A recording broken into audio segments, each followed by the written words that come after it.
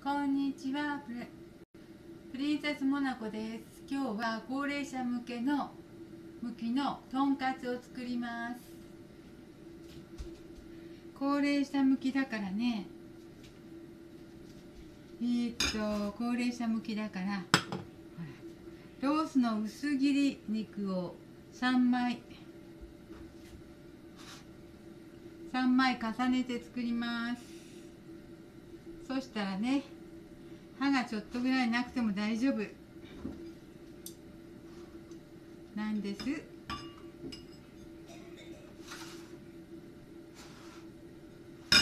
ね。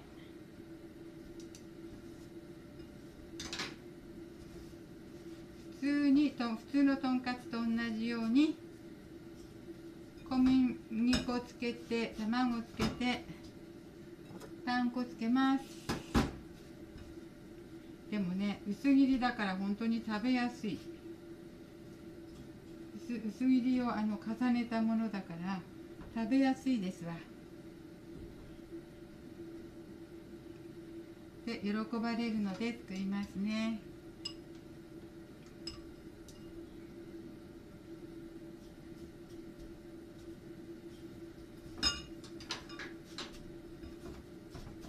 普通に小麦粉つけて卵つけてパン粉つけました。よ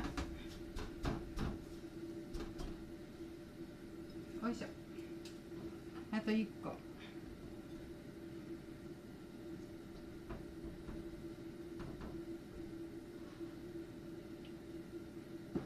見えます？見えてますか？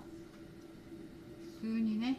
あらこぼしちゃった。卵小麦粉つけて。卵つけてパン粉つけます。パン粉。もう薄いロース肉の薄切りを重ねたものだからもうくねくねしてますわ。くねくね。よいしょ。とりあえずできたかな。で天ぷらができてからよいしょ。これいらないの。天ぷらができてから。後で洗いましょう。じゃあじゃあ私が。で入れますね。あまたちょっと早い？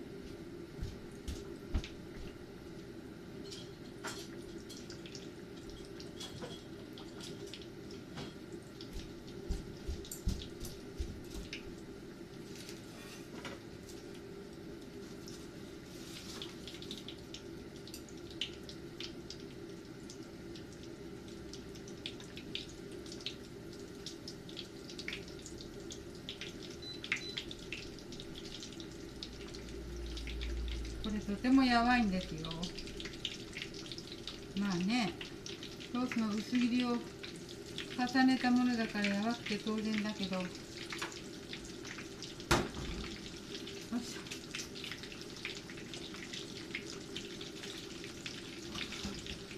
これは邪魔だね。まあいいか。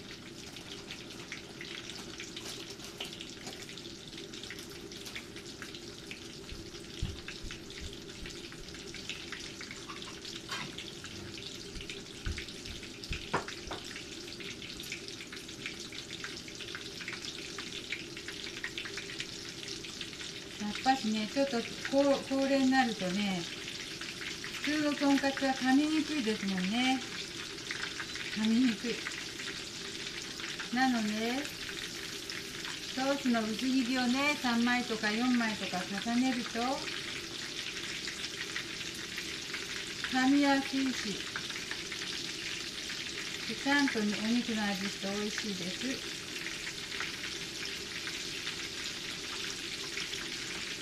見えてますか？見えてるかな、うん、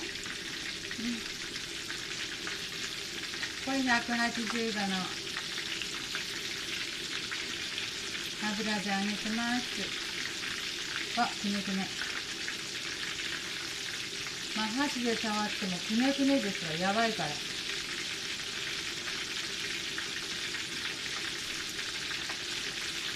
やばいからね。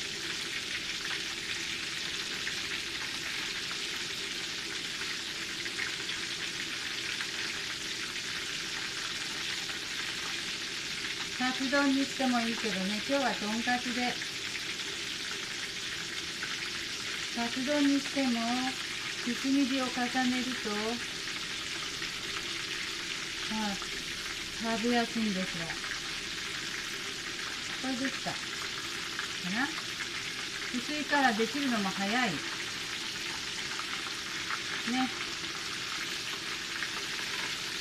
お思ったでしょ？ほら。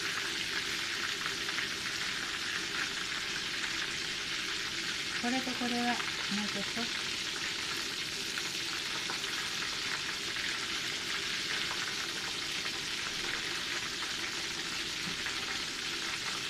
暗いねちょっとね。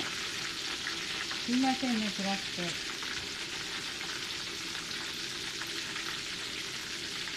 夜になっちゃったから。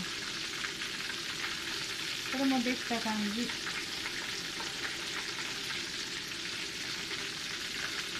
できるのも早いんですよ。暗い暗い。これぐらい？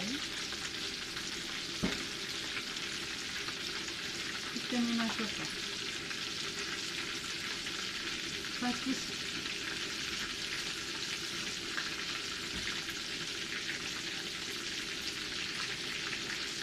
うんと暗くないようにも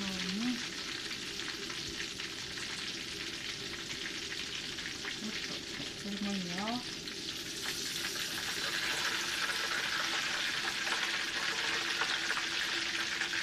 こんな感じ見えますか？こんな感じ。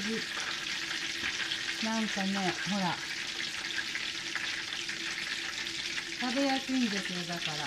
こんな風になって。高齢者向きでしょ。う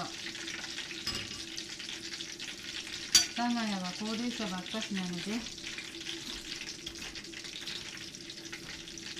こういう感じになってます。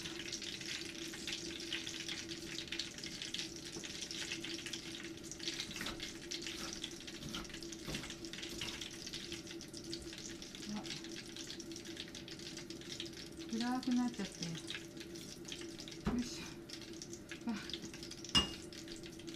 こういう感じになります。とんかつです。とんかつです。とても食べやすいので作ってみてください。美味しいですよほら。高齢者向けでした。今日はプリンセスモナコでした。